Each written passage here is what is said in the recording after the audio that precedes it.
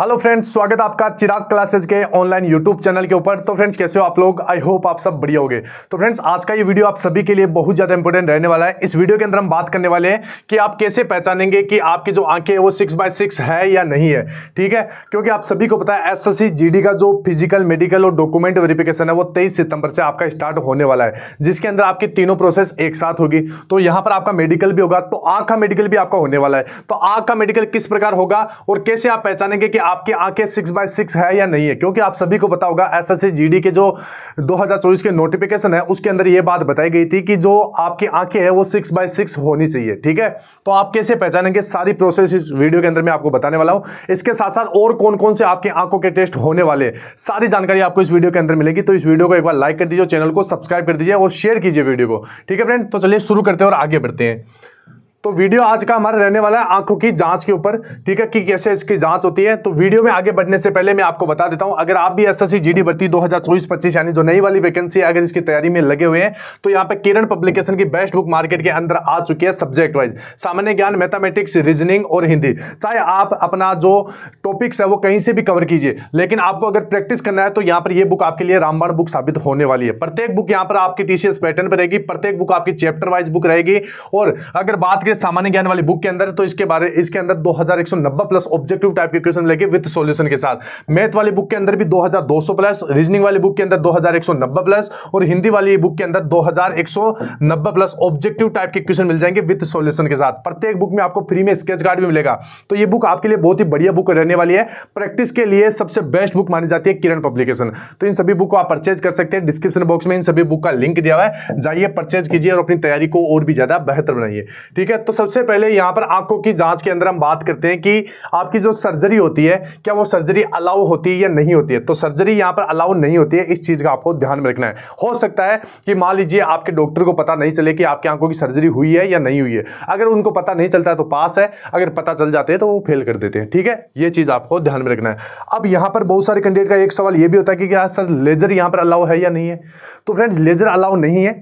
हाँ आप लेजर करवा के जाइए मान लीजिए आपको, आपने लेजर करवा के गए और वहाँ पर आपके लेजर का पता नहीं चला तो आप पास हो जाओगे, ठीक है? और यहाँ पर आप अगर चश्मा पहन के जाते हैं तो वो अलाउ नहीं है, चश्मे वाले कैंडिडेट को बाहर कर दिया जाएगा, ठीक है? तो ये चीज़ हो गई। अब यहाँ पर सबसे पहले बेसिक बेसिक आपकी आँख की जाँच किस प्रकार की जाती है तो सबसे पहले एक आपको खड़ा कर दिया जाएगा। इसके बाद में डॉक्टर यहाँ पर या तो एक पेन ले लेगा या फिर कोई भी पॉइंटर वगैरह वो ले लेगा और आपकी आँखों की जाँच करेगा कि आपकी नज़र वो उस पेन के ऊपर है या नहीं है, ठीक है?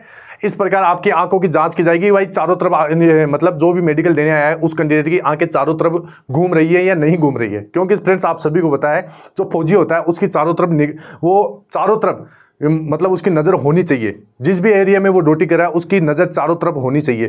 तो इस वजह से यहाँ पर ये टेस्ट किया जाता है। मान लीजिए, अगर आपने, आपकी आँखें घूम नहीं रही है तो इसमें आपको पॉइंट दे दिया जाएगा, ठीक है? ये चीज़ आपको ध्यान में रखना। अब यहाँ पर सबसे पहले स्क्वेंट आई यानी जो यहाँ पर भेंगापन होता है, जो आँखों के अंदर, यहाँ पर आप देख सकते हैं, ये भेंगापन की शिकायतें हैं। यहाँ पर रतौंदी नाइट ब्लेंडलेस और भेंगापन, ये आपका अलाउ नहीं है सीधा सीधा आपका रिजेक्ट कर दिया जाएगा। ठीक है? ये चीज़ें आपको ध्यान में रखना है। इसके बाद में, अब यहाँ पर एक टेस्ट आपका ये भी होता है, आँखों की जाँच के लिए कलर विजन टेस्ट अब यहाँ पर फ्रेंड्स मैं आपको एक चीज़ क्लियर कर देता हूँ। कलर विजन है वो आपका जन्मजात होता है, इसकी कोई दवाई नहीं होती, ये सही नहीं होता है। ठीक है? लेकिन कुछ हद तक इसमें सुधार कर सकते हो आप। वो कैसे कर सकते हो? तो इसके लिए आपको सुधार नहीं है, फ्रेंड्स, मैं आपको बता देता हूँ। सुधार की इसमें गुंजाइश बहुत कम होती है। इसमें आपको क्या करना होगा, एक जो बुक आती है, ठीक है, वो बुक आपको उसके पेज रट लेना है, ठीक है। अब हो मतलब मान लीजिए जिस दिन आपका मेडिकल है, और आपको मान लीजिए कुछ गिने चुने जो वर्ड होते हैं, वो मान लीजिए आपने उसकी पहले से प्रैक्टिस प्रैक्टिस कर रखी है तो आप उनको वहाँ पर भी पहचान सकते हैं। कई बंदे इस प्रकार पास होते हैं, ठीक है? तो आप भी पास हो सकते हैं। अब यहाँ पर फ्रेंड्स आपको कमेंट बॉक्स में ये बताना है, आपकी आँख की जाँच कर रहा हूँ मैं तो आपको ये बताना है कि सर जो आपने कलर विजन वाली फ़ोटो दिखाई थी, उसमें ये ये नंबर थे, ये वर्ड थे, ठीक है? तो एक बार आप ध्यान से देख लीजिएगा और कमेंट बॉक्स में इसका रिप्लाई दीजिएगा, ठीक है? इसके बाद में, अब यहाँ पर आपकी आई साइड भी चेक की जाती है। सबसे पहले फ्रेंड्स आँखों की जाँच किस प्रकार होती है, मैं आपको बता देता हूँ। यहाँ पर आपकी आई साइट यानी जो आँखों की दृष्टि वो कैसे चेक की जाती है? अब मान लीजिए आप राइट हैंड कैंडिडेट है, आप अपना अधिकतर काम राइट हैंड से करते हैं तो आपकी जो राइट आई है, वो बेटर आई मानी जाएगी और ये आँख आपकी सिक्स बाय सिक्स होनी चाहिए, ठीक है? सिक्स बाय सिक्स होनी चाहिए और जो राइट हैंड कैंडिडेट है, जो अपना सारा काम राइट हैंड से करता है, उसकी जो लेफ़्ट आई है, वो सिक्स बाय नाइन है तो उसको वर्स आई मानी जाएगा। हालाँकि यहाँ पर आपकी आँखें सिक्स बाय सिक्स मांगी जाती है। अगर आप राइट हैंड है तो आपकी जो राइट आई है, वो तो सिक्स बाय सिक्स होनी ही चाहिए, लेकिन जो लेफ़्ट आई है, मान लीजिए सिक्स बाय नाइन है तो इसमें कई बार पास कर देते हैं, ठीक है? वैसे आपकी सिक्स बाय सिक्स मांगी जाती है। अब मान लीजिए अगर आप लेफ़्ट हैंड कैंडिडेट है तो आपकी जो लेफ़्ट आई है, वो आपकी बेटर आई मानी जाती है और ये आपकी सिक्स बाय सिक्स होनी चाहिए, ठीक है?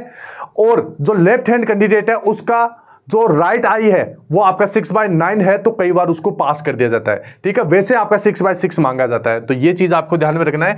मैंने आय दृष्टि आपको बता दी है। आँख की जो आई साइट होती है, ठीक है? और यहाँ पर यही चीज़ आए, आपका ऑफिशियल नोटिफिकेशन में यही बातें आपकी लिखी गई है, ठीक है? और इशियारा टेस्ट इसमें यूज़ किया जाता है। इसके बाद में, अब आपको कैसे पता चलेगा कि आपकी जो आँखें हैं, वो सिक्स बाय सिक्स है या नहीं है? तो इसके लिए फ्रेंड्स मेरे पास एक चार्ट था। ये चार्ट आपको ध्यान से देख लेना है। यहाँ पर हो सकता है आपको अलग वर्ड मिल जाए, लेकिन जो साइज़ होती है वो वर्ड्स की वो यही रहने वाली है, ठीक है? जैसे, अब यहाँ पर आप ये देख सकते हैं, ये आपको अल्फ़ाबेट कैपिटल में मिल सकते हैं। स्मॉल में मिल सकते हैं नंबर्स मिल सकते हैं या आपको जैसे आपके हिंदी के अक्षर भी मिल सकते हैं ठीक है कुछ भी मिल सकते हैं। अब आपको कैसे पता चलेगा कि आपकी आँख सिक्स बाय सिक्स है या नहीं है? तो अगर फ्रेंड्स आप इस लाइन को अच्छे से पढ़ लेते हैं ठीक है अब यहाँ पर पढ़ाते कैसे सबसे पहले आपकी एक आँख को कवर किया जाता है ठीक है या तो आ, वहाँ पर दो मेडिकल मतलब जो मेडिकल ऑफिसर होगा उसका एक सहयोगी भी होगा ठीक है उसको वो बोलेगा कि इसकी एक आँख बंद कर लीजिए ठीक है। तो आपको फ्रेंड्स एक आँख जब भी आप बंद करते हैं तो उसको आँख को बंद नहीं करना है, ऐसे आँख को बंद नहीं करना है, उस आँख के ऊपर आपके या तो कोई प्लास्टिक का जो गत्ता वगैरह होगा, वो लगाया जाएगा, ठीक है? या फिर आपको हाथ से इस आँख को कवर किया जाएगा। तो आपको क्या है? आँख को खुला रखना है। इस आँख को हाथ कवर रहेगा, लेकिन इस आँख को खुला रखना है, ठीक है? क्योंकि मान लीजिए जैसे इस आँख का टेस्ट होता है तो इस आँख को बंद किया जाएगा, ठीक है? तुरंत उसके बाद में आपको इस आँख का बंद कर दे मतलब जो राइट आँख को है, इसको बंद करने के बाद इस आँख से, जिसको पहले कवर किया गया था, इससे पढ़वाया जाएगा। अब होता है कई बार, क्या होता है कि तुरंत आप आँख खोलते हैं तो आपको कई बार धुंधला धुंधला दिखाई देता है वर्ड आप अच्छे से नहीं पढ़ पाते हैं। तो ये चीज़ें आपको ध्यान में रखना है, ठीक है? आँख को बंद नहीं करना है, बस आपके ऊपर जो कवर किया जाएगा तो उसके अंदर भी आपको आँख को खुला रखना है। ये चीज़ें आपको ध्यान में रहनी चाहिए। अब यहाँ पर आपको पता कैसे चलेगा कि आपकी आँख सिक्स बाय सिक्स है या नहीं? तो अगर आप एक आँख बंद करके ये लाइन अच्छे से पढ़ लेते हैं तो आपकी आँख सिक्स बाय सिक्स है, ठीक है? आपको कमेंट बॉक्स में बताना है कि सिक्स बाई सिक्स वाली लाइन में कौन कौन से अक्षर लिखे हुए ठीक है? इसके बाद में, अब मान लीजिए, आप यहाँ तक पढ़ पाते हैं, कौन सी? सिक्स बाई एट तक। यहाँ तक अगर आप पढ़ पाते हैं तो आपकी आँख सिक्स बाई एट है।